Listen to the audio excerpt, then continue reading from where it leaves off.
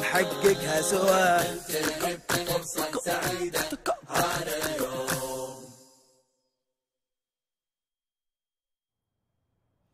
بسم الله الرحمن الرحيم السلام عليكم ورحمة الله وبركاته مشاهدينا الكرام أسعد الله صباحكم بكل أسعد الله أوقاتكم بكل خير صباحكم ولا مساءكم لأنهم أمس قايلين لي الساعة 12 عرفت فشبكت على الصباح يعني. قاعد أسوي بروفات من أمس على الصباح أسعد الله أوقاتكم بكل خير في فقرة تكية وأكثر على برنامج فرصة على قناة الواقع طبعا سعيد جدا بأني كنت مقدم معهم في هذا البرنامج فقرة تكية وأكثر إن شاء الله بإذن الله راح تكون بشكل أسبوعي على تراها شغلني ترى. أفك الأربيز.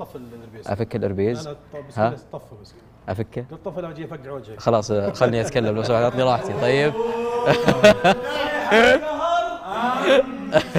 اعطيه اعطيه صلاحيات. اعطيه إيه. صلاحيات عشان ياخذ راحته. طبعا مشاهدينا الكرام فق- فقرة تكية وأكثر بإذن الله راح تكون متواجدة معكم أسبوعيا آه، بإذن الله الساعة العاشرة والنصف على قناة الواقع في برنامج فرصة.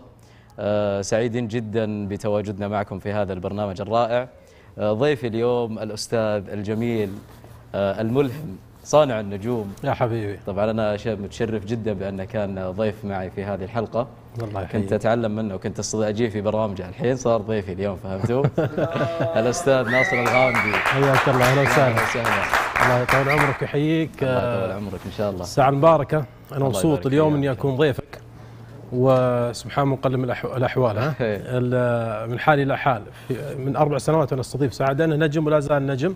يا حبيبي. ولولا نجومية آه، سعد لما جعلت له فقرة في برنامج الفرصة لجماهيريته لحضوره لمحبة الناس له.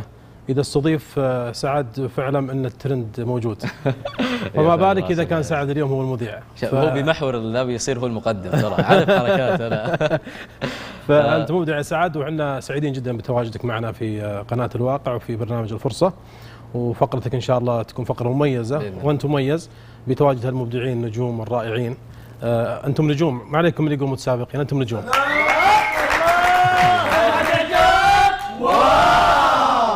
حبيبي. أستاذ ناصر أستاذ ناصر الغامدي ما راح نتكلم عن تاريخك الإعلامي وإنجازاتك. ما يحتاج أنت يعني حاليا حتى مخضرم. تعرف الإعلام المخضرم ما شاء الله إيه. تبارك الله. نبغاك تتكلم لنا عن ال- ال- ال- الحاضر وش عندك من من أمور يعني في في الإعلام بشكل عام؟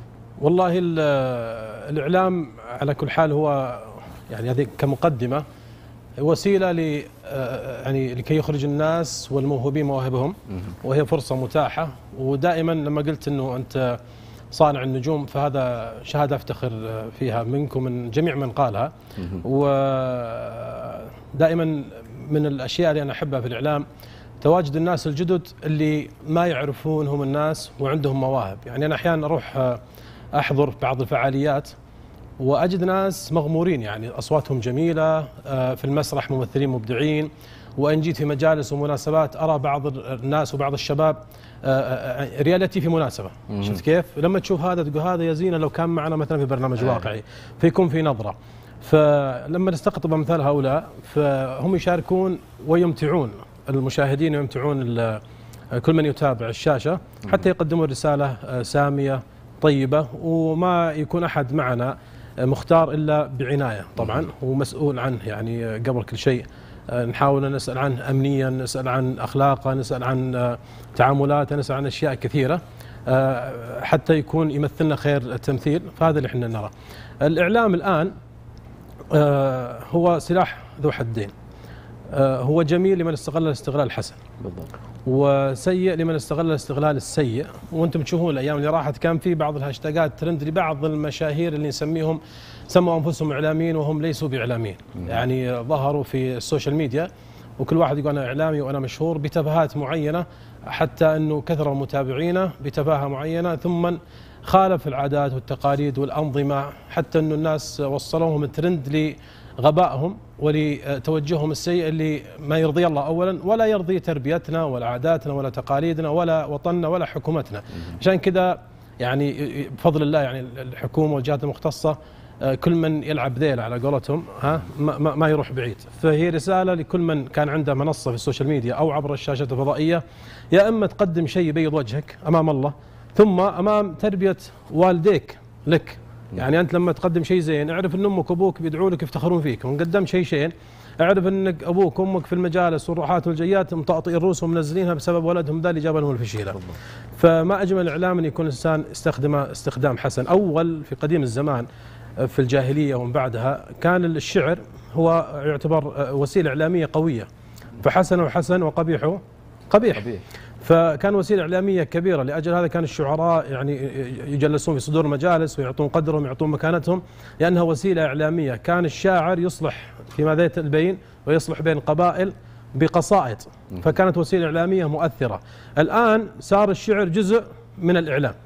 فالمنشد عنده موهبته وهي رسالة سامية. الشاعر عنده موهبته رسالة سامية. الإنسان الممثل عنده موهبته ورسالة سامية.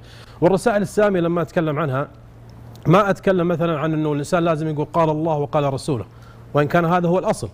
لكن ما اجمل تقدم رسالة سامية جميلة مفيدة للوطن مفيدة للمجتمع مفيدة حتى لك أنت تفرح فيها وتنبسط فيها بأسلوبك بعفويتك. ترى العفوية أحيانا لما الإنسان يطلعها قدام الناس تبين تربية أهله له.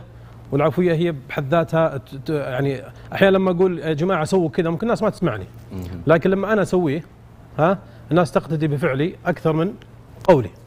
فما أجمل أن نستخدم الإعلام استخدام طيب وأختم بكلمة آه، أفرح كثير خصوصا لما يعني استلمت الإدارة والإشراف برامج قناة الواقع.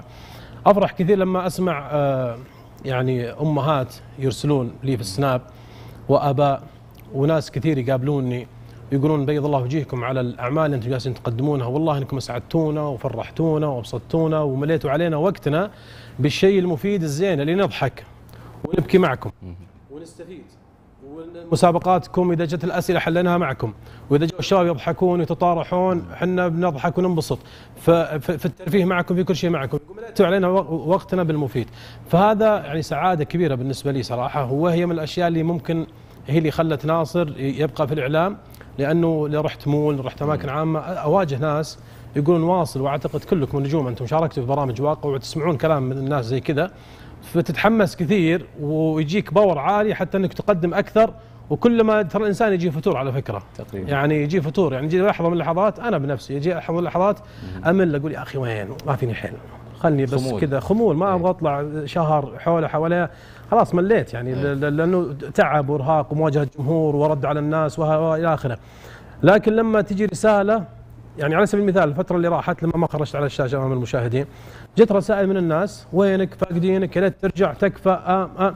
أقسم بالله العظيم مع إنه كان استجمام واستجماع قوة لي حتى أعود. لما الناس أعطوني power عالي رجعت وأنا متحمس. رجعت وأنا أبغى أقدم وأعطي حتى نسعد الجمهور من خلال الأشياء اللي إحنا نقدمها ممتاز. يعني هذا شيء يعني طولت عليك فيه لكن طيب آه، يعني إعلامي ولا مشرف